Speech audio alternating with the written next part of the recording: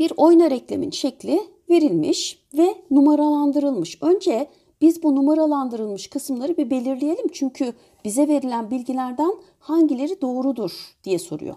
Şimdi bir numara neyi gösteriyor arkadaşlar? Bakın şurada bir kemik, yukarıda da yine bir kemik var. Aralarındaki oynar eklem kısmını gösteriyor. Oynar eklemde bulunan kemiklerin baş kısmını kıkırdak bir bölge kaplıyordu ki biz buna ne diyorduk?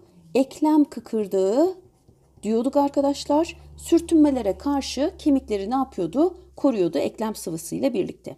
İki numara neyi gösteriyor? Sinovial zar dediğimiz yapıyı gösteriyor.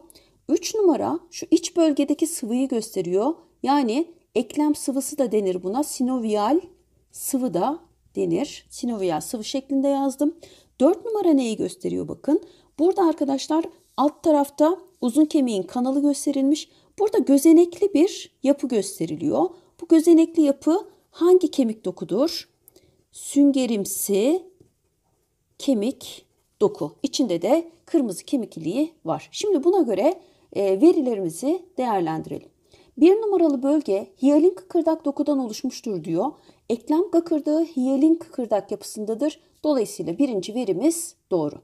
İki numaralı bölge kan ve lenf damarlarından sinoviyal sıvıyı süzme görevini gerçekleştirir demiş. Sinoviyal zarın sinoviyal sıvıyı oluşturduğunu söylemiştim. İşte onu oluşturma şekli budur arkadaşlar. Kan ve lenf damarlarından sinoviyal sıvıyı süzer ve eklem sıvısını oluşturur. Sürtünmelere karşı oynar eklemlerde koruma görevini sağlar.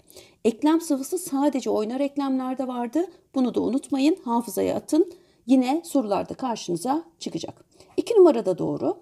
3 numaralı yapı az oynar ve oynamaz eklemlerde bulunmaz demiş. Sinoviyal sıvı dediğim gibi biraz önce bulunmaz diğer, diğer eklemlerde. 4 numaralı bölge tüm kemik çeşitlerinde bulunur demiş. Süngerimsi kemik arkadaşlar uzun kemiklerin baş kısımlarında. Kısa ve yassı kemiklerin de iç kısmında bulunur. Dolayısıyla bu da doğru. Hangileri doğrudur dediği için E şıkkımız doğru yani hepsi doğru.